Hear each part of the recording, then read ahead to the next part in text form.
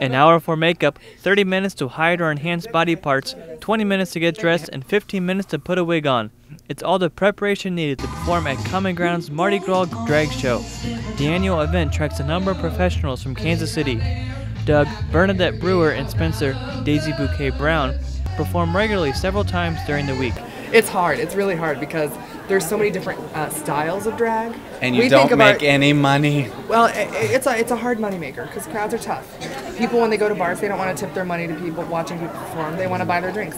But um, we try to mix it up by offering a variety of drag, especially at Sidekicks, Mm-hmm. because we've got you know we've got the glamorous drag queens, and then we've got the comedy drag queens, we've got the clown-looking drag queens, and And we do, drag and we do lots of group numbers, so there's group lots numbers. Oh, it's always fun. lots of energy. The drag show raised $120 for the One campaign for AIDS research.